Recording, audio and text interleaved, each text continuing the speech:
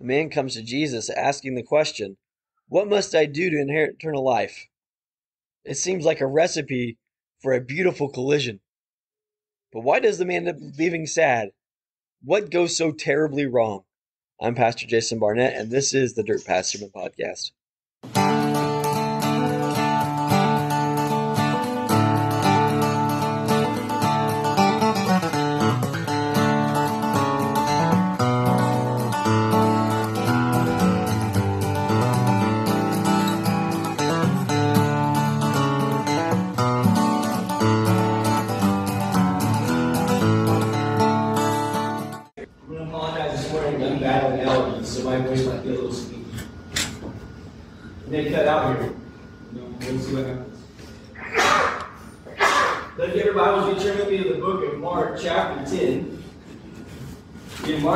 Chapter 10, verses 17 through 22.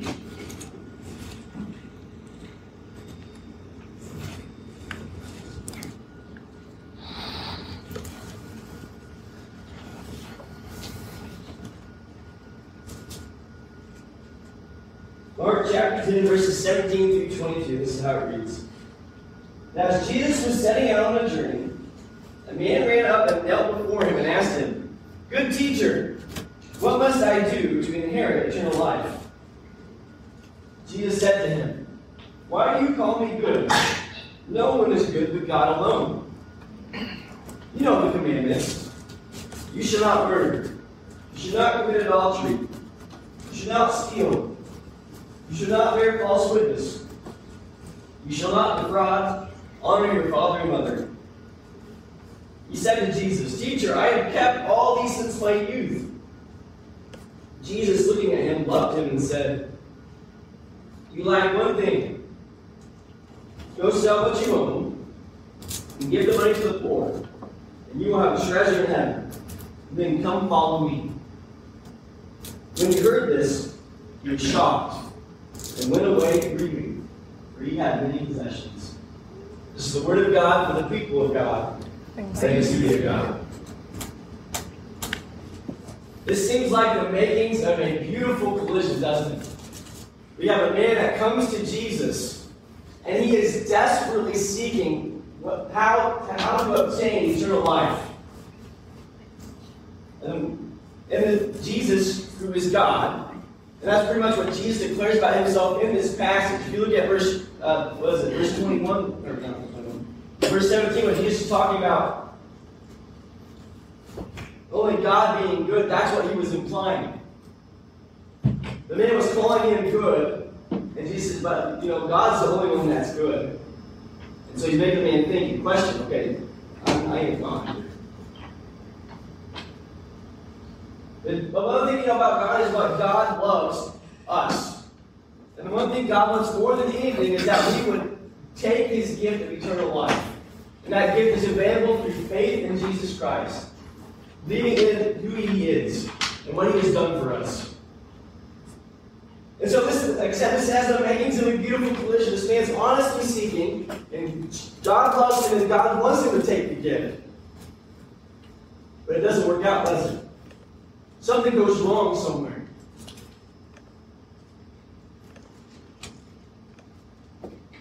Why does the why, why does is the man's obedience not enough? Why isn't it good enough? That's the question we're going to look at as we read this passage today, as we study it together. And notice this man, he's, he's sincere in his, in his quest to find eternal life. He's, he's not just joking around, he's not just poking around trying to, he's sincere. Sincere to the point when he gets word that Jesus is leaving, he runs to go find where Jesus is. He runs up to Jesus to get into his presence. And not only is, is he desperate to get Jesus' presence enough to run there, when he gets to Jesus, he kneels before Jesus' feet. This is an honest, humble, sincere, seeking heart before Jesus.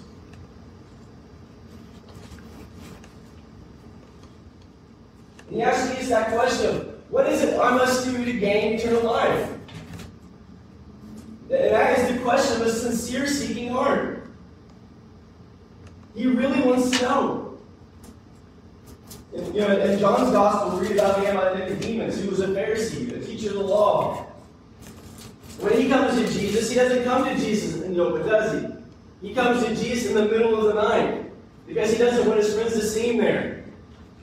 He comes to Jesus in secret, asks Jesus in secret because he doesn't want people to know he's, he's ta- conversing with this Jesus. But this this young man here, this rich man, he wants to know so bad he doesn't care who's watching. He doesn't care who sees him. He runs and he kneels at the feet of Jesus and he asks him that question of, What must I do to gain eternal life? And so Jesus tells him, He says, Follow the commandments. He's referring to the Ten Commandments here. He's saying, Follow the Ten Commandments. You know what those are. And then he begins to spout some of them off. And the ones that Jesus lists here, these are the ones that tell us to love people. I don't know if you know this, but if you study the Ten Commandments, uh, they really boil down to two. Remember that uh, later on, some of the disciples or some of the Pharisees and teachers of the law are going to try and trap Jesus. They come to him and ask the teacher, What is the greatest commandment? What does Jesus say? Love the Lord your God with all your heart, all your soul, and all your mind. The second one is like it love your neighbor as yourself. And if you study the Ten Commandments, that's what they say. There's a chunk of them that say love God, and a chunk of them that says that loves up, love, tells us to love others. And so that's what Jesus spouts off this. He said, hey, love other people. Love others. Don't murder them. I mean, if you, if you murder somebody, it's hard to say that you love them, right? You're cheating on your spouse, it's pretty hard to say that you love them. That's what Jesus tells him. If you want to enter your eternal life, follow the Ten Commandments. Just do it.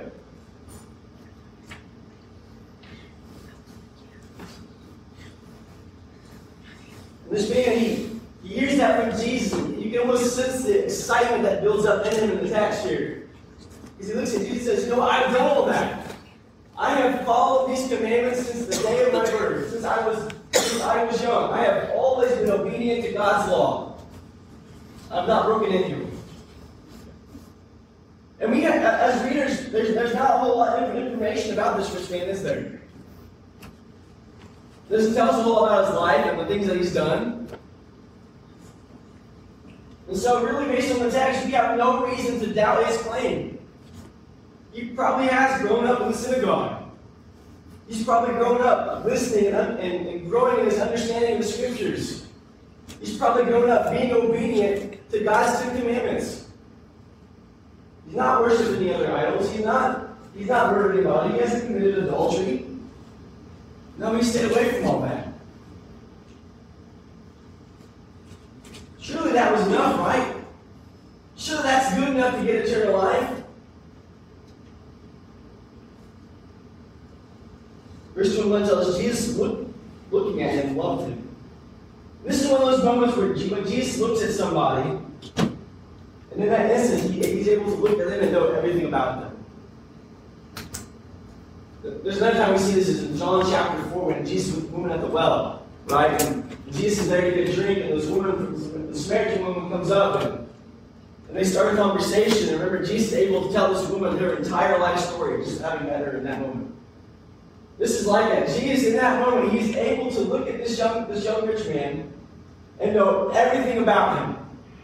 And what Jesus sees stokes a passionate love for him.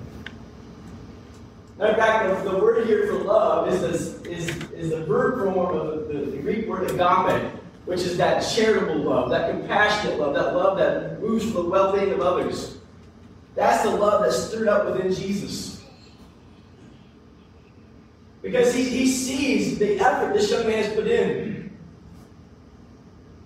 And yet this man is so far from hope. This man has done, done everything right, yet there's still something missing in his life, and Jesus looks at him and notices that. That there's still something missing. And he loves him. And Jesus, when it says Jesus loves him in this moment, Jesus loves him enough to tell him the truth. Because that's what love does. Love always tells the truth. Matter of fact, Paul writes about that in 1 Corinthians 13, doesn't he? In that great love chapter, he says, Love rejoices in the truth. This man came to Jesus with the question of what must I do to inherit eternal life? And he was sincere in his, his searching. And Jesus of love, by looking at his heart, recognizing who he is, says, You know, I'm going to give you the truth because you are honestly seeking. I'm going to tell you what it is you must do to inherit. That's when Jesus tells him, You must go sell everything that you have. Can come follow me. Go sell everything that you have and come after me. That's it. The very question that this young, man, this young man came to Jesus asking, What must I do to inherit eternal life? Jesus gives him the answer. He gives him the very truth that he came to Jesus trying to get. And Jesus loves him enough to tell him the truth and give it to him. And what does Jesus tell him? Go sell all you have and come It's that simple.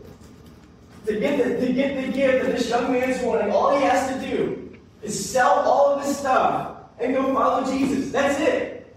That's the only requirement.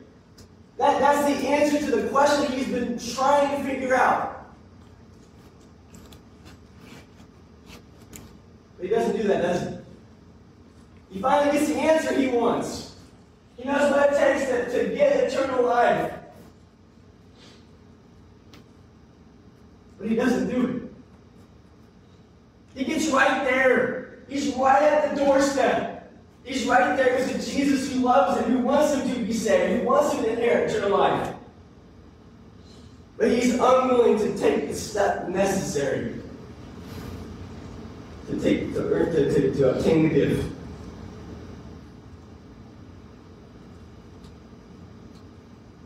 You see, this seems this seems this seems foreign to us because we've always heard when we come to church that Jesus loves me. And Jesus always leaves the 99 to go chasing after the one, right? That's what the pages of Scripture tells us. Says Jesus loves us enough that he will leave the 99 sheep to go chase the one lost sheep. But in this moment, that's not what Jesus says. Jesus tells him, if you want, if you want to gain eternal life, sell everything that you own and come follow me. And then the guy gets upset and leaves. Jesus, it sounds like Jesus just let the sheep leave. You know why? Because that sheep wasn't lost. That sheep wasn't lost. Jesus told him exactly what he needed to do to inherit eternal life. It was, and the, the sheep was right there. He heard it. He knew what he was supposed to do. But he was unwilling to do it. And when that is the case, that sheep is not lost. They have made their choice. And notice what Jesus does. Jesus doesn't go chasing after him, saying, Oh no, now I only have 12 disciples instead of 13.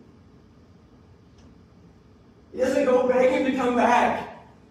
He doesn't go and say, Oh, I'm so sorry, that truth was you. Let me let me lower it so you can it can be a little easier for you. Jesus doesn't do that.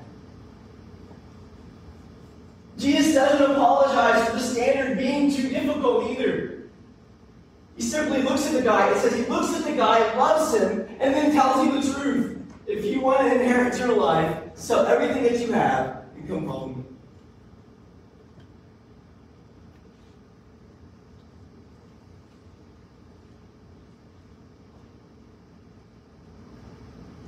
This man just didn't really want it.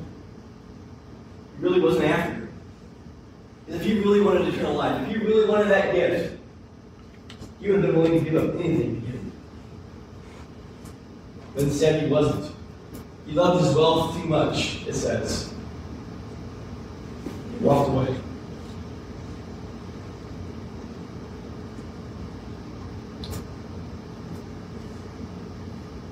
And Jesus lets him go. Because there's nothing else Jesus can do in this moment, is there? What, else should Jesus do? Should Jesus zap him with a, with a lightning bolt?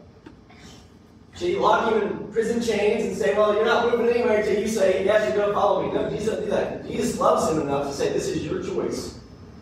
This is a choice you have to make for yourself. I cannot make it for you.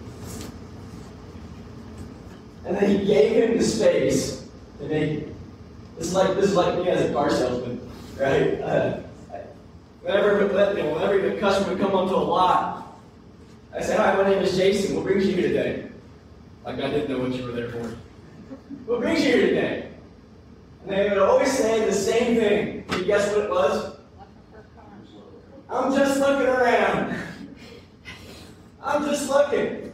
Okay, that's awesome. What you looking for? I'm not really sure yet. Oh, okay. And then inevitably they would say, well, you know, Mr. Salesman, we don't really need your help. I'm like, okay.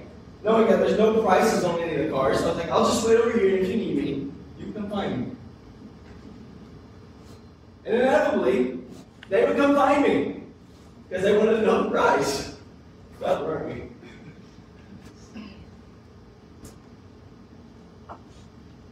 When you really want to know the answer to something, you'll ask. And when you really want to obtain something, you will pursue it no matter what the cost.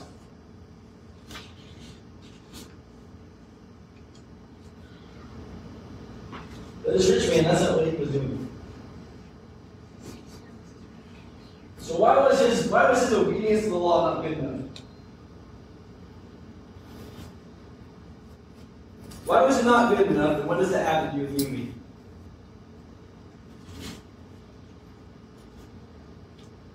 While outwardly this man had done everything right. Inwardly he was still broken. You see, his heart was still focused on himself. His, his mind was still stuck in the patterns of this world.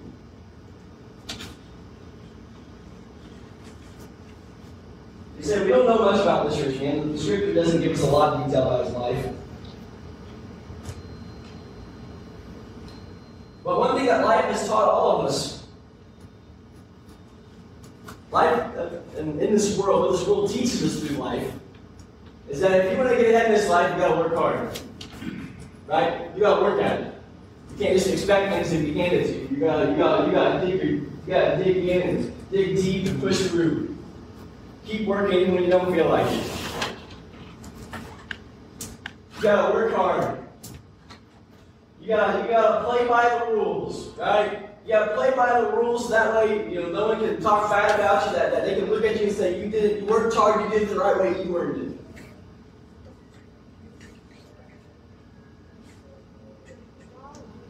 And sometimes it helps that you're born into the right family, right? You're born into the right family. That helps a little bit too. Even then, you know, to live up to your family name, your family reputation, you got to work just as hard as your dad, your granddad did before you. You got to keep pushing. You got to keep doing everything you can to earn your right to have money, power, and influence. That's what life in this world teach you, teaches you. If you want anything, you have to go out and earn it. And that's what this rich young man thought about salvation in Jesus Christ. He thought it was something that you could earn.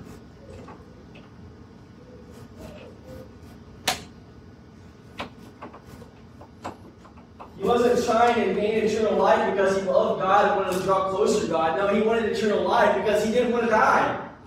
He had worked hard for everything that he had gained in life. He didn't want to lose what he had. He wanted to keep it forever.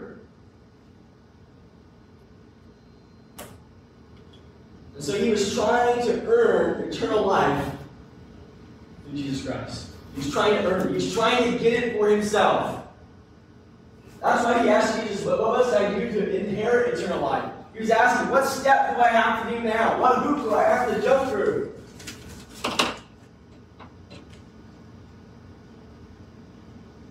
And Jesus says, go sell everything you have and come follow me.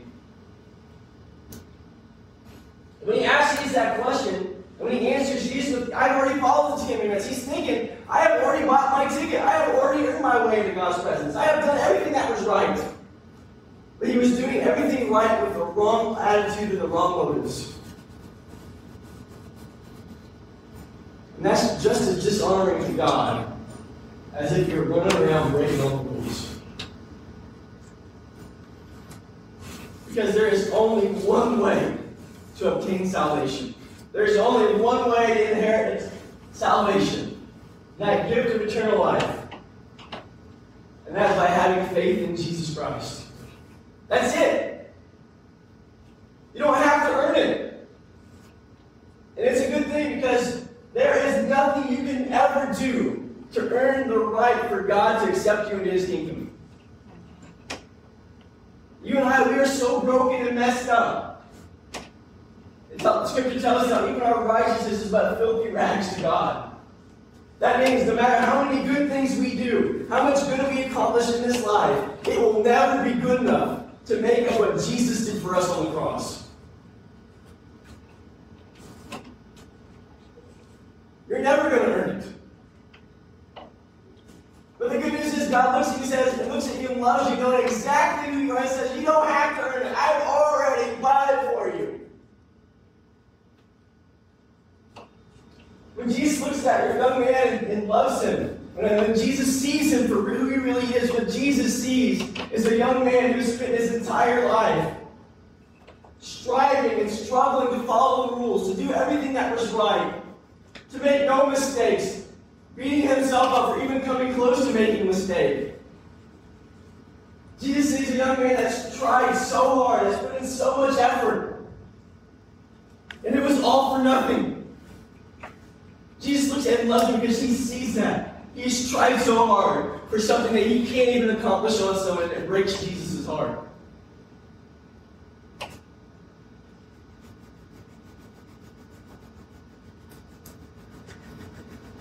So Jesus tells him, if you want to be, if you want to have eternal life, go sell what you have and come follow me.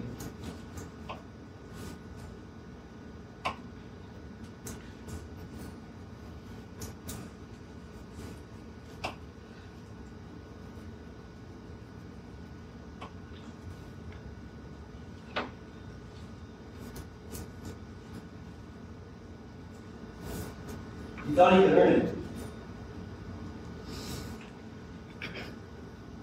He thought his good behavior was going to give him in.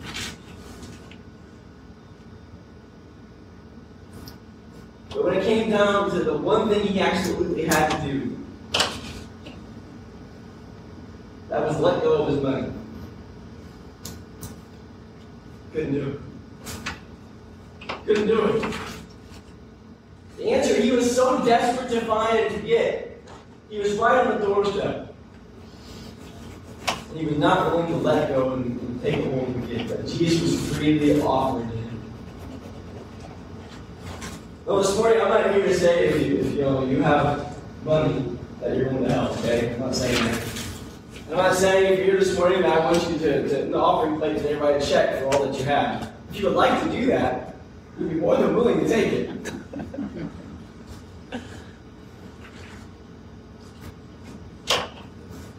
But only if God's telling you to do that. That's not what I'm saying. See, what this money was,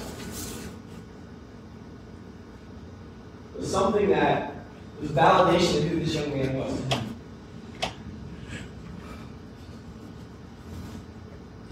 It was his comfort and security.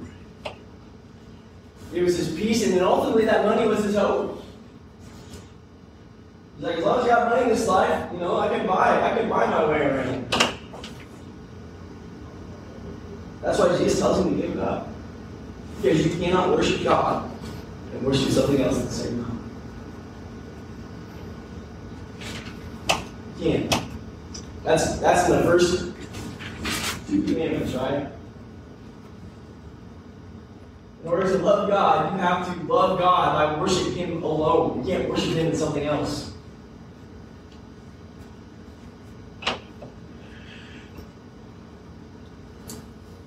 But the rich, this rich man, his desire for that money was so intense, it was so much that he was just unwilling to give up Unwilling to let it go. That's why that's why his obedience was good enough. It was all an outward act. It was, an act of self-preservation. It was, a, an act of trying to protect what was his.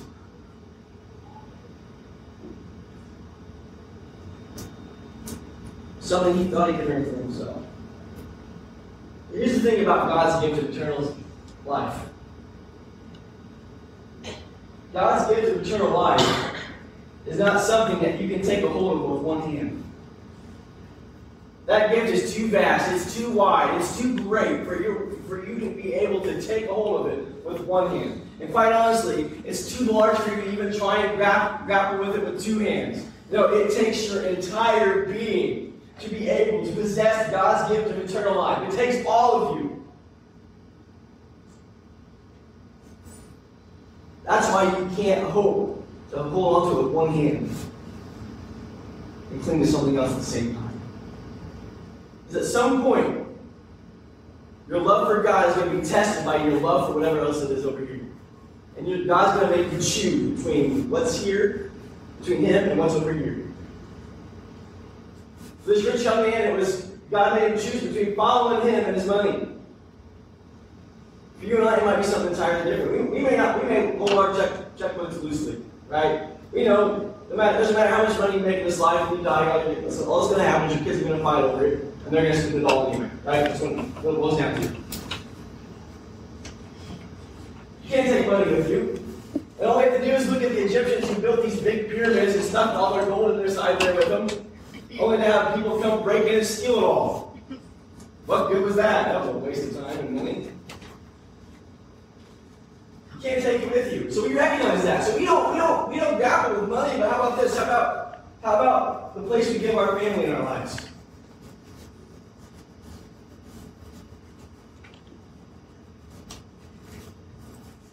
If God told you right now, you know what? I want you to trust your family to me, pack up and move to the other side of the country, would you be willing to do that? Would you be willing to do that? Because if you can't, the answer is no, then your, your, your love for your family has replaced your love for God.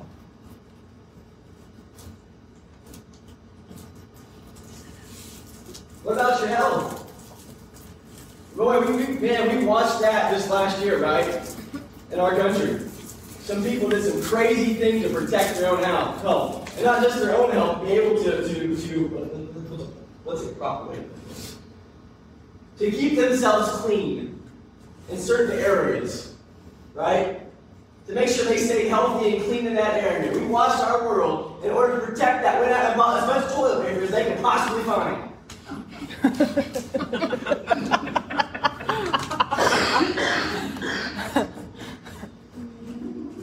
they placed their own comfort up here. And if, if, if, uh, what if God came to them and said, hey, do you love me more than being comfortable? How about a couple weeks, oh, was about a month ago now, the gas shortage, right? The gas shortage. that was ridiculous. You were so concerned about, I gotta get to work. I gotta be able to, to drive little Billy to soccer practice. Because Lord knows he can't walk.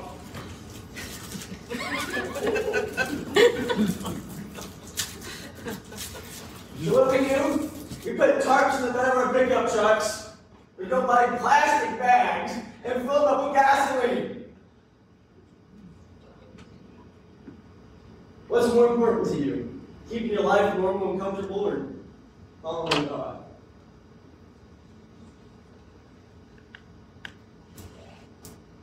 Maybe it's your job. What if God at you and said, you know what, I know you're making a lot of money right now and you're very comfortable in your, in your, in your lifestyle. You know what, I want you to quit that job. I want you to come follow me. I want you to go preach the gospel for me. Would you be willing to do that? And here's the thing. Jesus isn't going to change the question because you don't like the answer.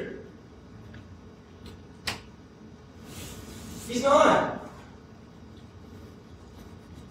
Uh, when I accepted the call to preach, I was 16 years old. I, I had my life all figured out. I was gonna, I was gonna go to college. I was gonna graduate. I was gonna go coach football somewhere and teach some history. Because I'm a nerd and I like me some history books. That was my life goal. And then Jesus came to me and said, Jason, I want you to give, would you give that up to follow me? I was like, God, no, I don't want to. And I fought with him, and I fought with him. And I finally, after six months, God looked at me and uh, I told God, you know what, I'm tired of fighting with you, I'm tired of arguing with you, I'm tired of this wrestling match we're having. So if you want me to preach, guess what? You're just going to have to give me an opportunity. Don't ever do that. the next day, my youth came and said, Jason, you the next week led service. That's what happened. There's been no doubt in my life ever since. Matter of fact, when we were exterminating in Colorado, I got the opportunity to go coach freshman football for a year as a defensive backs coach. It was a lot of fun, don't get me wrong. I was a nice coach until they stopped listening to me and got mouthy. I didn't yell though. That's what made it worse for them. but I realized something. As much fun as that was, I'd rather be doing this.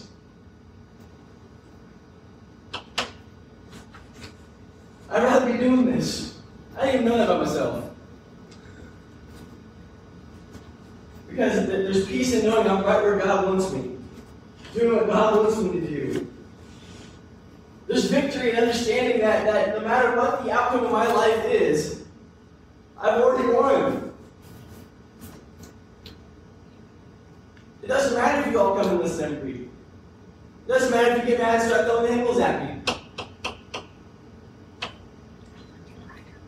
Because I know if I'm being obedient to God, He's going to take care of me. When I'm talking about God giving you eternal life, it's not talking about giving you everything you want here in this life. It's about knowing that no matter how short you fall in this life, when you get to the other side, you get everything.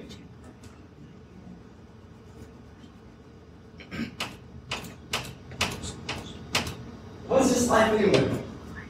How much time do we have? 70, 80, 90, 100? 120. Maybe we get lucky 200 with a lot of drugs.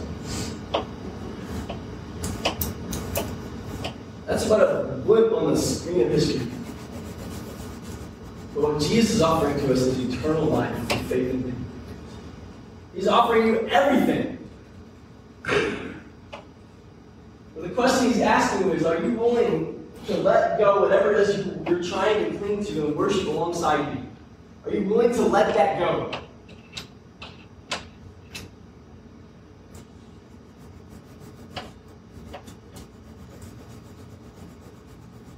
He knows that you want your life. He knows you're desperate for it, but he, he's telling you, I want you to let go whatever it is that you're trying to worship alongside of me. Because here's the thing it doesn't matter how many good things you do, doesn't matter how much effort, hard work you put in. You're not going to receive a special check mark or a gold star or a secret pass to be able to bring it into heaven with you. God's not going to make an exception. No, He says, I want you to be able to let it go, trust it to me, and come follow me. Come follow me.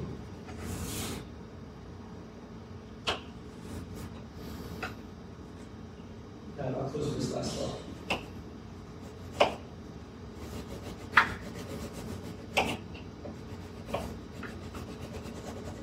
those of you that are getting to know me, you're realizing I have a planner. I have a plan for everything.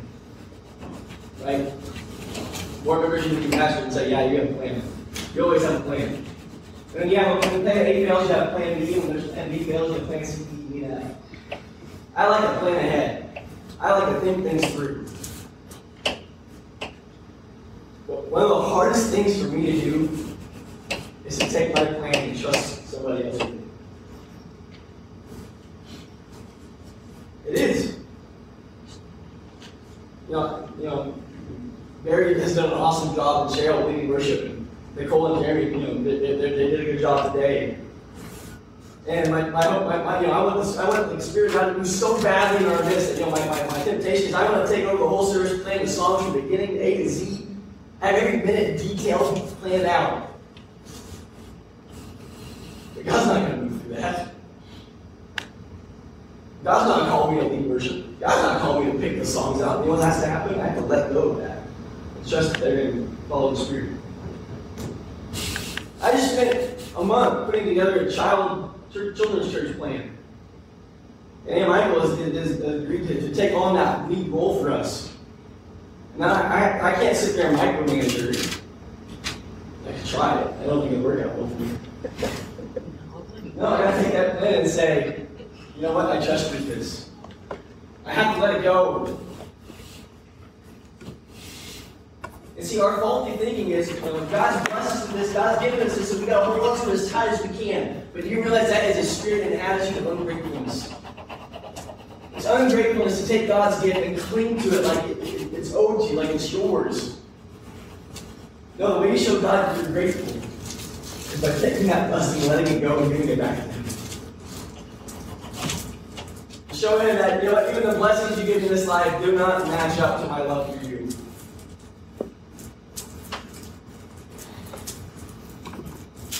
What does that for you then? John Wesley writes this. He says, The love of God, without which all. What does it say here? I can't do all right. So there it is. The love of God, without which all religion is a dead car- carcass. In order to obtain this, throw away what it is to you, the grand hindrance of it. Meaning, whatever it is that's standing between you and God, whatever you're clinging to besides clinging to God, let go. Let go. And then you will experience the gift of eternal, you'll, you'll, you'll, you'll receive that gift of eternal life, and also the freedom of knowing that, you know what? Whatever I've had was clinging to, it's in God's hands. The God who loves me, the God who has a plan for my life, the God who works all things together, together for the good of those who love Him. But I have to willing to Whatever it is this morning, can you let it go? Can you quit clinging to it? You say, God, this is yours. To invite Jeremy and Nicole to come back up. To invite you to stand with me. We're going to close out the song. And this morning, don't leave your clinging to something else besides God. Don't leave your shackled to whatever else it is. Leave in the freedom of what God gives you. In the freedom of knowing that you have eternal life. So as we sing, doing the altars are always open, it's in church. But if you're not comfortable come from the altar up to the altars to pray, in your bulletin there's a little green card that says Connect card. Fill it out and say, Pastor, I made that decision to let something go today. That card out just put it in the offering plate back there. That's all you gotta do. No show. Just acknowledge that you are letting go of something and putting all your faith in Jesus.